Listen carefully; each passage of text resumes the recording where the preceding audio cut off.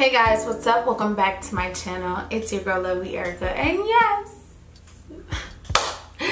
as promised I said I was to bring y'all some more videos so here I am back in full effect. I figured you know foundation is kind of the theme I said that I was to be posting for you guys so I am bringing you a Kevyn Aucoin mm, bougie. It's like when you say it it's almost like mm, you know? So as you can see, I already have my face on because this video is gonna just show you guys another way that you can use your foundations. So I'm gonna be using the foundation balm from Kevyn Aucoin. Yes, it rhymed. and it's a song. Oh, you see that? Bars. The DJ dropped that beat on y'all okay? Anyway, so I'm so happy that they sent me out some product. I was so sad that none of these are my shade. I actually thought that they were gonna work so what do you do when you got some stuff to use?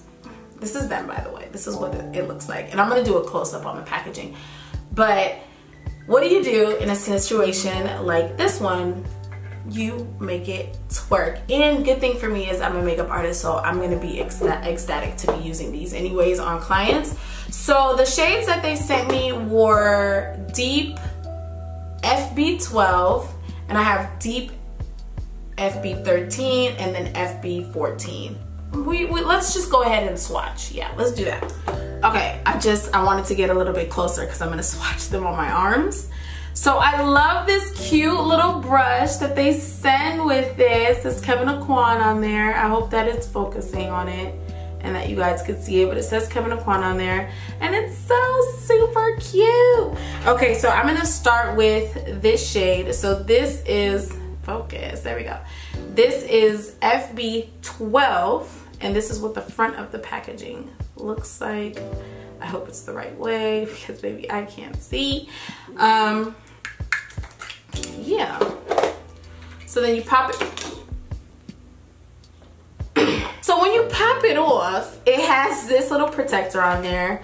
You remove it and then that's what your foundation balm will look like. Okay? So let's swatch. No, I'm not gonna swatch with a brush. I'm gonna use that brush though. So I'm gonna first, I'm gonna swatch it with my hands. Oh, it's creamy. Look at that, creamy. Okay, so here is what FB12 looks like.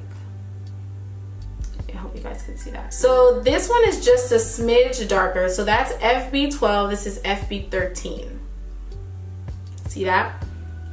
I, I hope it's really visible though. I hope you guys can see the little differences in there. All right, and right here is FB14. So you'll you can see the differences FB12, 13, and 14. They're really nice and creamy, guys. Like super nice and creamy. I love that. Okay. So as usual, you know that I'm here to give you guys the facts on the product. So let's see. It is retailed at $52 period. If you don't know who Kevyn Aucoin is, baby, I need you to do some research because he is a staple in the makeup community. Okay? Rest in peace. So it's a full coverage buildable foundation for all skin types in 20 different shades.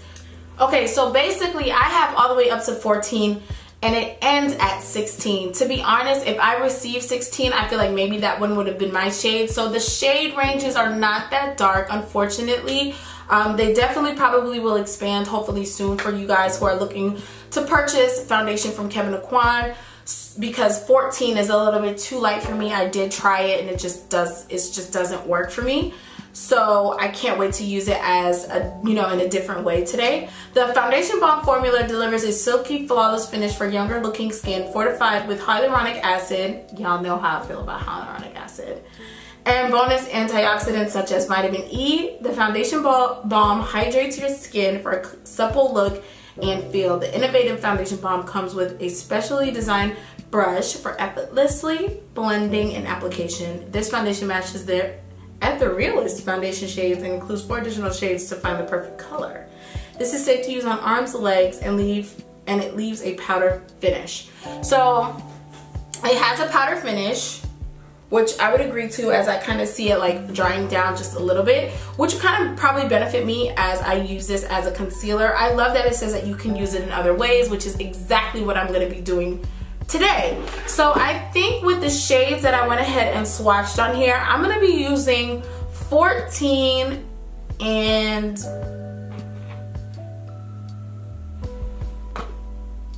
I'm gonna use 14 and 12.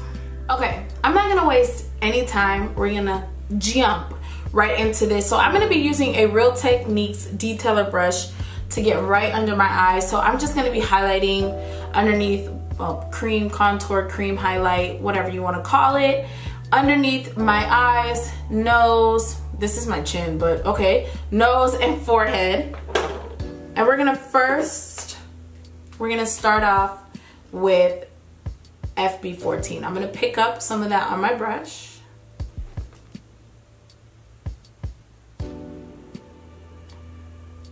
And I kind of want to start with a shade that's close to me. I know somebody's probably thinking like, girl, that look like it is your shade. But baby, I'm telling you, when I tried it, I don't know what, it, it was too light.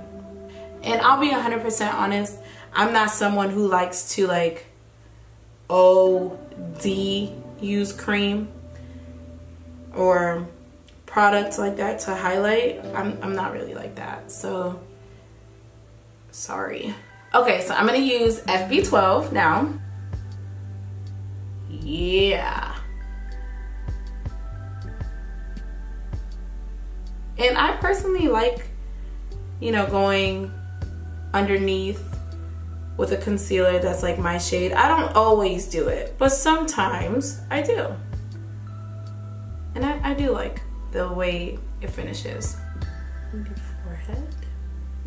And uh, might I add, this will be a first impression because I have not tried this prior to this video.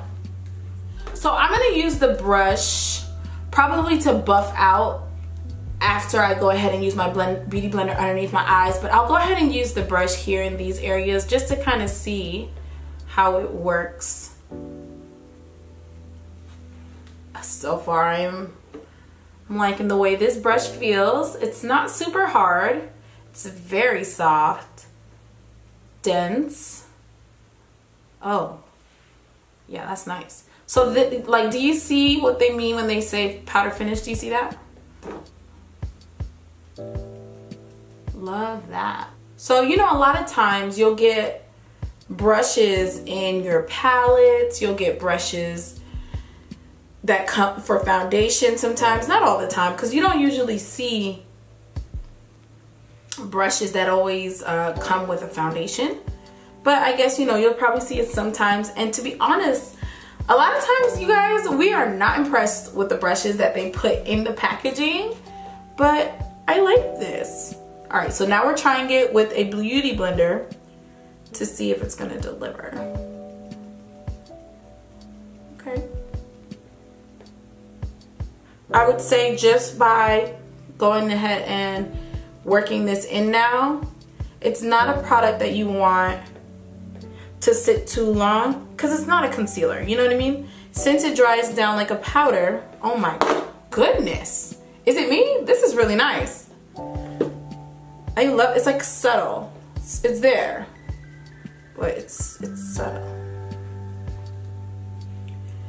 I would say not to leave it on too long, you know? It's not a concealer, but I, I do think you could let it dry down just a little bit. All right, let me zoom in. Let me get a little closer. I want y'all to see this a little bit closer. Do y'all see that? I mean, looks pretty damn good if you ask me. Yes. All right. Get that out the way. Just so you guys can see my face without the contour.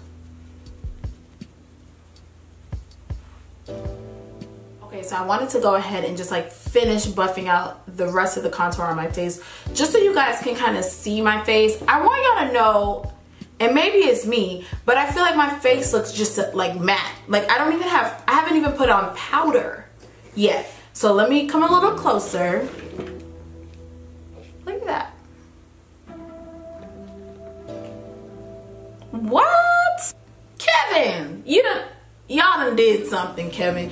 Y'all done did something. So the next test is to see how it works with setting powder. And I'm gonna go in with the Fenty Beauty setting powder honey and the shade honey. And y'all know I like to use my girl Jackie Aina method. It's not her method, let me not call it that, but I, maybe it is, you know what, I don't know. Y'all know I'm using the method that my girl Jackie Aina do. That's what I'm saying, okay? Taking it on the beauty blender, pouncing off the excess, and then going under the eye.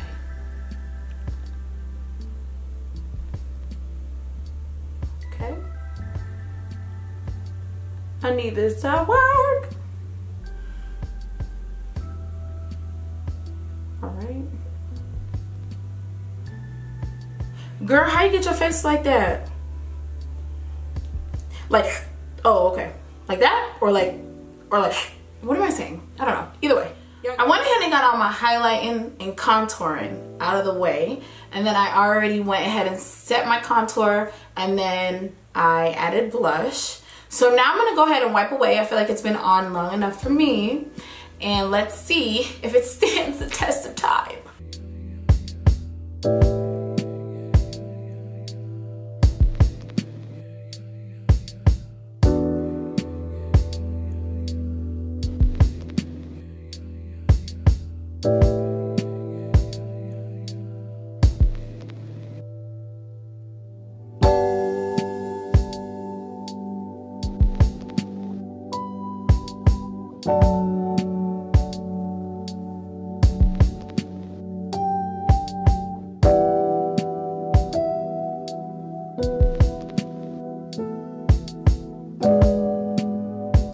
Right, y'all. What y'all think? Y'all think I look cute? I don't think it's that bad. I can, I will say though, a, a, little bit different from like my other foundations that I use or concealers. And again, this is not a concealer. It is a foundation. My Fenty looks a little different sitting on top of it, but I don't hate it. You know, I'm not mad at it. Anyways, so I'm gonna go ahead and wrap up on the rest of this face and then we'll be back. Okay guys, so this is my face completed. This is what we're looking like. This is the feel, this is the vibe. And I will say, I am pleasantly surprised and impressed definitely by the Kevyn Aucoin Foundation Balm and how I was able to use it today. I feel like when you have a product, even foundations, like other foundations that you have, like I have some foundations up here as you can see over there, but like some of your foundation shades, like sometimes depending on where you stay, you could catch a tan or things of that nature and then your foundation ends up being a little bit too light for you and you're thinking to yourself, wow, I have this foundation, what am I gonna do with it? Use your stuff in different ways. You can make makeup you can do anything with makeup okay? You can literally do anything that your heart desires. So I was so happy that I was able to use the Kevyn Aucoin foundation balm in this way and I do highly suggest that you go out and check it out if you're looking for a new foundation to add to your life. Um yeah. So i hope that you guys enjoyed this video and kind of learned some new tips and tricks as far as how to use your foundations as concealers highlight contour whatever use them how you like I want to say thank you so much to uh, Octoly and Kevyn Aucoin for sending this out to me. I hope that you guys enjoyed this video. Be sure to subscribe to my channel and I will catch you guys in the next one.